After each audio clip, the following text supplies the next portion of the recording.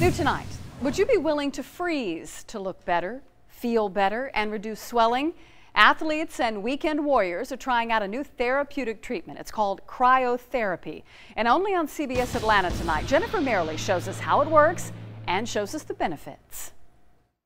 We've heard about athletes putting ice on an injury or a pro athlete taking an ice bath after a game. Cryotherapy is a new twist on cold therapy, an all over body freeze that lasts just minutes. Initially, you think, I'm not going to make it, I'm not going to make it, I'm not going to make it.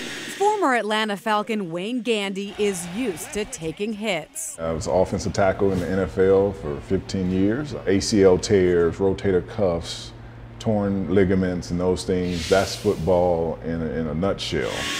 Bursts of liquid nitrogen to help his aches and pains is something new. It makes you think of what a popsicle probably feels like. It's like joy and pain at the same time.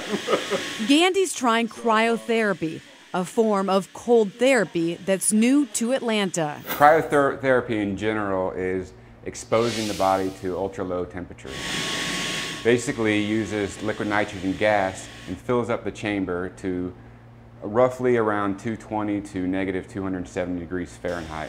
And by that process, it kind of instantly freezes the skin, and that's where you get your benefits naturally. Master Sergeant Ethan Whitfield and his sister Alia Allman opened Icebox two months ago. How long does a person spend in the cryosauna? Two and a half to three minutes. Sarah Noel takes a cryosauna after an intense workout. Usually with CrossFit, it's three days on, one day off.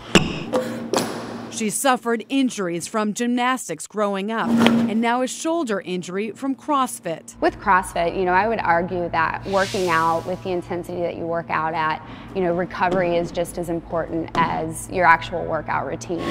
She looks for ways to recover quicker. When you get out of it, you just you feel really good, and like you've got a ton of energy and you know, it just, the benefits of that are, are huge. Cryotherapy has long been used in Europe, but is relatively new to the United States.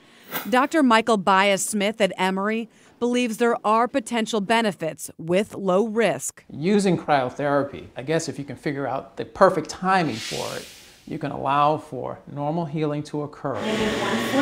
Allman and Whitfield say they have the right formula to help people feel better and look better. We've been seeing you know, increased energy, increased metabolic boost, you get tightening of the skin, a lot of anti-inflammatory um, injuries seem to go away. Gandy's convinced cryotherapy works. Even after the first time, my, the swelling in my knee went down. It just looks scary. It's not that bad.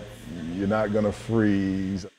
Clients can get in and out within 15 minutes. Some added benefits Allman says your body can burn between 500 to 800 calories after treatment.